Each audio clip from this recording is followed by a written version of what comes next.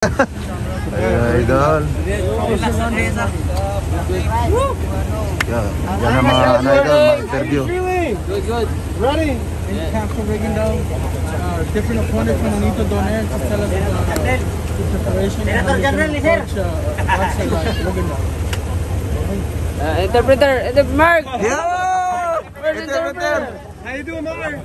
Interpreter! Palaban, palaban. English Turtle! Pacquiao Spence, what do you think? Interpreter! ite- Ala, ala, lagi na. Naiiwan.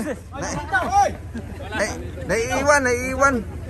Interpreter, kailangan ka. Yeah, yeah, sure. Naiiwan ka eh. Bumulusok kasi, patras. I'm sorry. His thoughts on Pacquiao Spence? Ah, anong sa tingin mo mangyayari doon sa laban ni Senator Manny at ni Spence? Ayun, magandang laban yan. Na, nabangan talaga ng mga tao yan kasi si Spain na bata pa at may kas- kalakasan niya. Uh, it's a great fight. Uh, people is anticipating for this fight because Errol Spence still uh, young and uh, still powerful, so uh, it will be a great fight. Prediction? Pag di, anong sa tingin mo mangyayari? Easy work for money. You heard it. Okay, you and Rigondeaux. work. Ikaw tsaka si Rigo, anong mangyayari? You and Rigondeaux, how many rounds? Ah, ah, surprise, surprise. You heard it again. Very humble opinion. What happened with Nonito? Why, why the fight end up getting canceled at the end? Ano nangyari kay Nonito? Bakit na... I don't know, Nonito, maybe scared me. Yeah. He, you heard it. Uh, Nonito, he thinks that he Nonito is scared of him. Yeah. How did things get so personal between both teams? Bakit naging personalan yung nangyari, bro? Hindi ko alam sa asawa niya. Eh, may ipal yung asawa niya. Eh, hindi ko alam. I don't know uh, because uh, Nonito's a wife maybe. Uh, that's the reason why we, we end up on, uh, up to this. But uh, I don't- really don't know what what happened. Does he think the fight can still happen in the future? Or? Sa tingin mo ba posible pa din tong laban na mangyari sa hinaharap? Yeah, yeah soon, yeah, soon. You heard him again.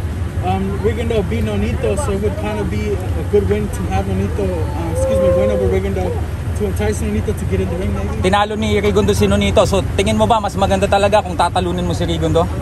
Pag matatalo ko si Regondo, ngayon si Donaire, lalong matatakot at saka si Naoya Inoue. If I beat Rigondo, I know that Nonito Donaire will be more scared of me and also Naoya Inoue. What does he think? What did he think about Inoue uh, his last performance? Anong sa tingin mo yung naging uh, performance ni Naoya Inoue nung huling laban? Ah, maganda naman, pero hindi pa rin ako masyadong nag, nagandahan talaga kasi alam naman natin yung kalaban niya, eh, parang hindi lumalaban ng ano, parang natatakot eh. Pag ako kalabanin na, wala. Great performance by Naoya Inoue, but to be honest, I am not impressed because uh, his opponent is not so good. But uh, I really believe that when he, uh, when I face Naoya Inoue, it will be a different story. There's been some comparisons to Inoue with Manny Pacquiao. Is there any kind of comparison there?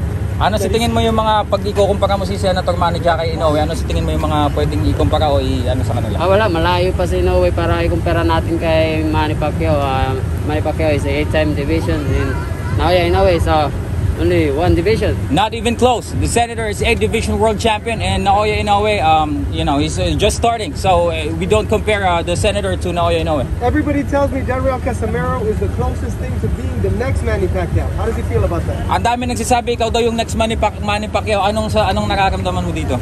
Ah, hindi ko naman talaga in-speak na yun talaga yung nararamdaman ng mga tao. Hindi ko alam eh. Yun talaga ba, baka nakikita nila sa lahat ng laban ko eh, yun, parang nakikita na rin si Senator Manny. I didn't uh, expect that people will, will consider me as the next Manny Pacquiao, but maybe they can see me. Uh, they, they, they, they see Manny Pacquiao in me. Maybe that's the reason why they're, they're calling me the next Pacquiao. Why do the fans like John Rail so much? He's down to earth, he's he's from the hood. He's Bakit ka gusto ng mga tao ano sa tingin mo? Ah, humble ka ba? Ano ano sa tingin mo? Anong kinagustuhan sa'yo ng mga tao? Malakas, magaling. Uh, I think uh, be, uh, the people uh, you know like me because I am strong and I am good. Good looking maybe. Gabriel, sa tingin mo, um, kahit may edad na si Guillermo, do you think uh, lakas pa rin yan? Uh, delikado pa rin siya? Medyo hindi... He's not the same that fought Nonito mga ilan taon na yan. Ay, ay trust na dito. Ah, you, you think uh, uh, Rigondo is not the same? Hindi na siya kagaya ng dati? Ah, hindi naman natin i-kumpiyansa rin si Rigo kasi alam natin si Rigo may lakas pa rin hanggang ngayon kahit ano kasi yung ginagamit ni Rigo ngayon experience na lang eh kailangan na natin tapusin para wala wala na magingay. I still respect Rigo. He still has the the, the skills and uh, he's, he he is still uh, fast. And uh, he he can still use his experience. So I will not uh, take him uh, for granted. I will still uh, take him seriously. You think if you beat him good, mas matatakot na si Inoue? Yun ang mas matatakot. Yeah, yeah. Ganun talaga mangyayari. eh. Kasi pag pag mag-ano naman si Rigondox, eh, lalong mag-ingay na naman yung ano. Kailangan tapusin natin si Rego at tayo yung mag-ingay.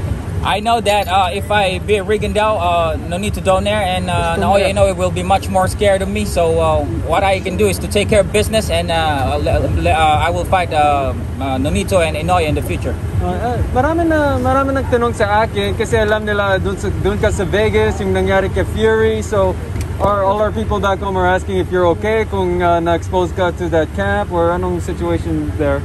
Siyempre, parang okay ka since uh, ka ah, na. Tyson Fury is a drama, no, not true. Hindi totoo yung ano, yung mga ano, ah, istorya, ano, Tsaka si Drama. Capitilio, uh, uh, vaccinated din. Ano, na tawag dito nagkaroon niya dati vaccinated. Tsaka nagpa-check na. Oh, wala, wala naman ako ano kasi ano tayo, ma-.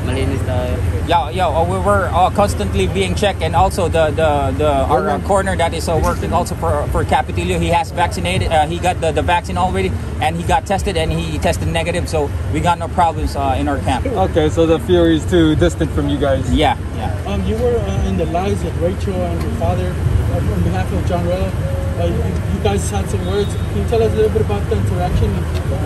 What did you make of it? Well, I didn't expect that that uh, interaction to happen. Uh, they invited me on uh, uh, IG, and also when I went live, uh, Rachel requested. So I got no options but to to you know accept this their invitation. But you know, I still respect the team. It, things happen, but I'm we are still hoping that in the future the the the champ Cuadrolas and Nonito Donaire will will face because it's a historical fight. So e- everyone wants to see it.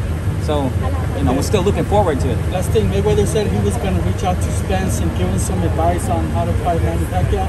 What are his thoughts on, on Mayweather helping Spence today? Ano daw yung ma- masasabi mo? Nasabi ni Mayweather, tutulungan niya si Spence na talunin si Boss Manny. Anong masasabi mo doon?